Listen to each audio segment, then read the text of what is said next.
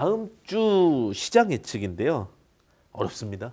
네. 근데 사실은 이제 시장 자체가 어, 방향성은 제가 이제 잡고 있는 방향이 있고 약간 하방 쪽으로 될 수 있다라는 생각을 계속 말씀드렸기 때문에 큰 틀에서 변화는 없는데 일단 다음 주는 그래도 좀 좁은 박스권 장세를 좀 예상을 한다라는 것. 이번 주에 흔들릴 때 보니까 어, 급락할 때도 또 급락을 하는데 당길 때도 또 빨리 당기긴 또 해요. 아 그러니까 나 깜짝 놀랐어요. 예, 그래서 저가 매수 수요가 분명히 있긴 있어요. 있죠. 그래서 이런 부분 때문에 시장이 밀려도 이제 팍팍 밀리는 게 아니라 밀렸다가 반등했다가 좀 슬슬 밀리고 이런 패턴들이 나타날 수 있다라고 보니까 일단 시장은 박스권에 갇힐 수 있다라는 걸 예상해서 급락할 때 단기로 매수하고 급등할 때 팔고 이런 전략을 짜시는 게 좀 좋지 않을까라는 생각이고요.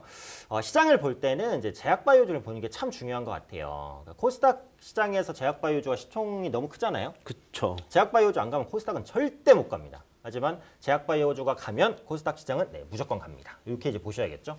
이번 주는 이제 제약바이오주가 약간 어려웠어요. 그러니까 어떤. 종목 올라가고 어떤 종목 떨어지고 방향성이 없었기 때문에 다음 주에 제약바이오주의 방향성이 상방으로 만약에 잡힌다면 시장에 대해서는 조금 더 긍정적으로 그렇지 않다면 좀 더 보수적으로 네, 이렇게 보시는 전략으로 좀 말씀드리겠고 어, 그럼 대표님의 다음 주 전략은 또 어떻게 볼까요?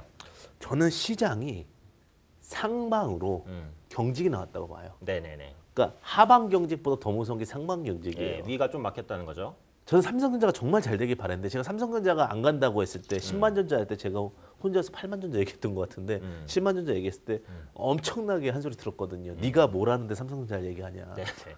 근데 저는 그래요. 항상 크게 방향이 틀리진 않아요. 시간이 지나고 나면. 음, 근데 이제 그 타이밍은 뭐 신야 이상 맞출 수는 없고요. 그렇죠.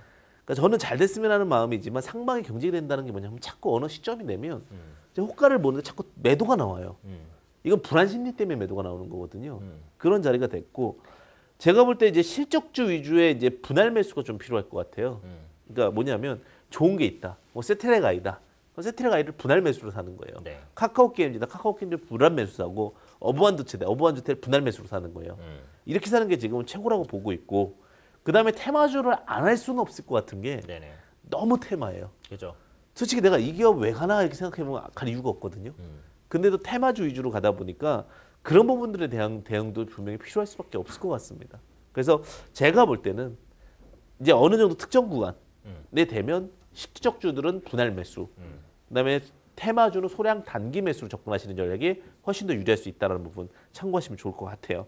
그 이제 또 궁금하신 부분들이 많으실 것 같은데 네. 또 추가적으로 또 받아보실 수 있는 어떤 궁금증 해소할 수 있는 그런 방법이 있을까요?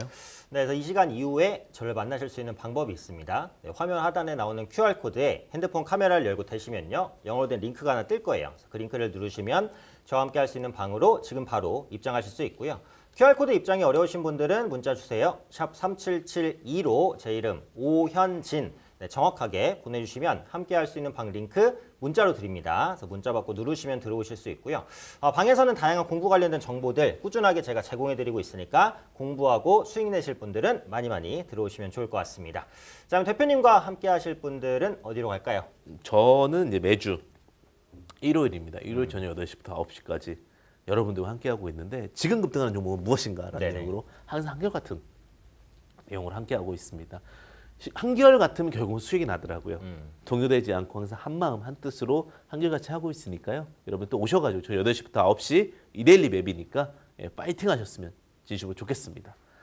또 한 시간이 또 호- 금방 지나갔습니다. 네, 오늘은 이제 내용을 조금 더 많이 하면서 시간이 걸린 것 같아서 어, 빠르게 좀 마무리해야 될 것 같아요. 네, 알겠습니다. 여기까지 하고 제가 특히 배당 말씀드렸습니다. 꼭 참고하시면 좋으실 것 같습니다. 여기까지 하겠습니다.